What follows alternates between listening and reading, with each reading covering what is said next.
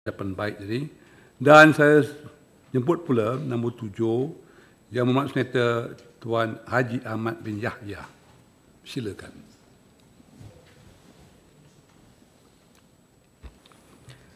Assalamualaikum warahmatullahi wabarakatuh. Uh, yang bahagia Datuk Seri yang dipertua dan seluruh rakan-rakan ahli Dewan. Pertamanya saya ucap terima kasih atas ruang peluang yang diberikan uh, kepada saya untuk membahaskan suatu akta bagi menguntukkan semula sejumlah wang daripada kumpulan wang disatukan sebagaimana yang diperuntukkan melalui Akta Perbekalan 2020.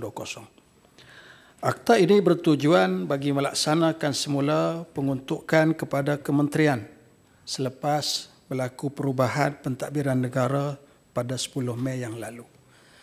Datuk Seri yang dipertua, setiap kerajaan yang bertanggungjawab akan berusaha sedaya mungkin untuk melakukan sesuatu yang terbaik kepada negara dan kepada rakyat. Justru saya melihat penyusunan semula kementerian dan penguntukan semula peruntukan ini adalah selari dengan tujuan tersebut. Sebelum saya menyokong rang undang-undang ini, saya ingin membangkitkan beberapa perkara. Pertama, rakyat ingin melihat kepada menteri yang dapat menyelesaikan masalah mereka. Bukan menteri yang mencari berbagai alasan seperti menyalahkan individu atau kerajaan yang terdahulu. Bahkan kerajaan itu berkesinambungan saya tertarik dengan satu jawapan oleh Yang Amat Muhammad Menteri Besar Kedah ketika ditanya oleh wartawan. Apakah kejayaan utama 100 hari pentadbiran kerajaan negeri Kedah? Dijawab oleh Yang Amat Muhammad Menteri Besar. Kejayaan saya ialah apabila berjaya meneruskan perancangan yang baik oleh kerajaan yang lalu serta memperbaiki apa-apa kerosakan yang berlaku pada kerajaan yang lalu. Itu jawapan. Datuk Seri yang dipertua, rakyat sebenarnya amat sedar. Kedudukan ekonomi negara, kekangan keuangan, jumlah hutang yang membebankan, kekurangan perolehan pasca COVID amat menekan. Namun semua itu bukan alasan utama untuk melepaskan diri dari sedaya upaya menyelesaikan masalah yang membelenggu rakyat. Terima kasih saya ucapkan kepada seluruh menteri yang telah bekerja kuat untuk rakyat. Yang kedua, rakyat mengharapkan pengagihan pendapatan negara yang saksama.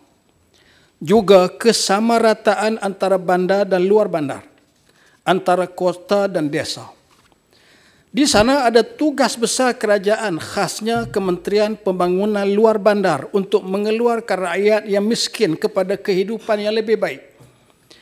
Bagi memastikan rakyat mendapat keperluan asas yang baik seperti kediaman yang selesa, sumber air bersih, jalan raya yang baik serta capaian internet.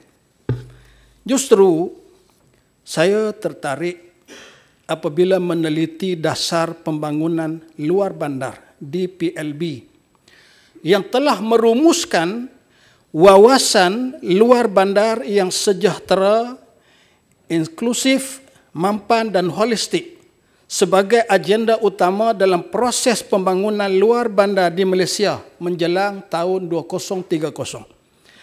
Melalui DPLB ini, Kerajaan mempunyai komitmen yang tinggi untuk merapatkan dan seterusnya menghapuskan jurang kualiti hidup antara bandar dan luar bandar. Tan Sri yang dipetua, realiti yang dihadapi oleh rakyat luar bandar amat menyedihkan. Mengambil contoh capaian internet. Kini Malaysia di belakang Myanmar Walaupun Malaysia bakal menuju negara berpendapatan tinggi dengan pelbagai kemudahan bertaraf dunia, masalah capaian internet bukan sahaja berlaku di Sabah, Bukan sahaja berlaku di Sarawak, bahkan ia turut berlaku di banyak kawasan di Semenanjung. Saya mengambil contoh yang terdekat. Berlaku di sebuah ladang di Bukit Selambau, Kedah. Di mana ada penduduk yang terpaksa memacak, mendirikan menara telekomunikasi sendiri dari buluh. Dari buluh dan meletakkan modem tanpa wayar di puncaknya bagi mendapat capaian internet.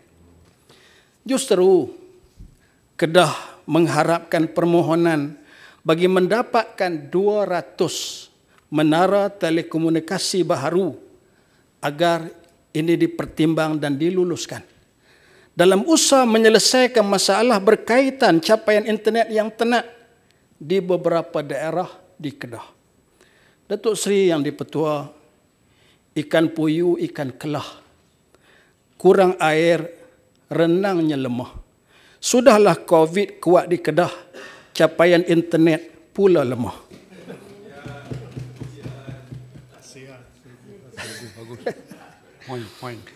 Yang ketiga, penyusunan pendidikan yang baik dalam usaha melahirkan modal insan amat diperlukan bermula dari prasekolah sehingga ke universiti. Saya menyokong pengasingan Kementerian Pelajaran dengan Kementerian Pengajian Tinggi. Bahkan saya mengharapkan ianya dikekalkan begitu. Jangan lagi sekejap di satu dan sekejap diasingkan. Saya juga mengharapkan peruntukan yang diberi kepada sektor pendidikan dapat digunakan secara holistik dan bersasar kepada matlamat sebenar. Pandemik COVID menjadi cabaran baru dalam mengendali sistem pembelajaran di sekolah dan di pusat pengajian tinggi.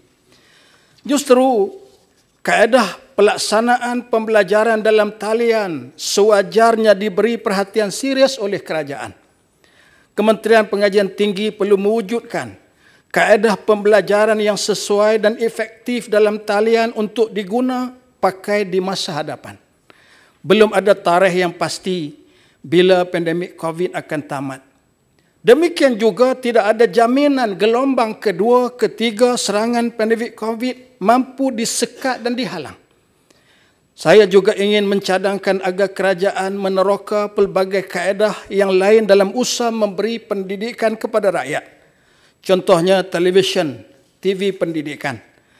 Sebaiknya dihidupkan semula. Kalau kita mengambil contoh negara jiran Indonesia diperuntukkan 6 jam untuk siaran pendidikan. Dalam sektor pendidikan ini, saya juga ingin menyentuh tentang masa depan anak-anak yang menuntut di mahat-mahat tahfiz. Saya difahamkan terdapat lebih daripada seribu buah tahfiz di seluruh negara. Justru, pusat pengajian tinggi tahfiz perlu diwujudkan dengan jumlah yang munasabah bagi membolehkan pelajar menyambung pengajian ke peringkat yang lebih tinggi. Bidang kemahiran juga perlu diberikan kepada mereka.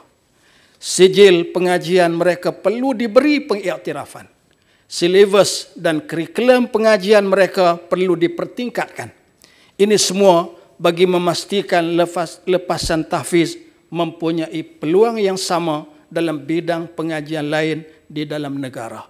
Datuk Seri yang dipetua, buah durian, buah dokong, saya mohon menyokong. Terima kasih. Terima kasih banyak. Ada dengan pantun kita mengajak orang ya. Terima kasih banyak.